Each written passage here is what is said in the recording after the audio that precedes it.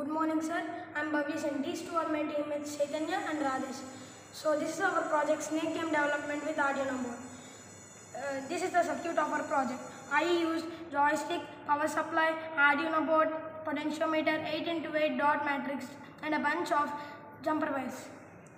The reason that we made this game was to increase focus, skill development, learning skills, and enthusiasm on coding. So now I'm gonna on it.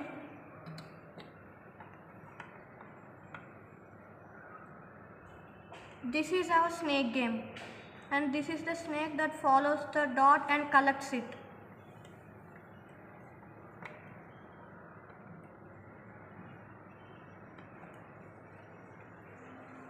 Thank you, sir, for giving this opportunity.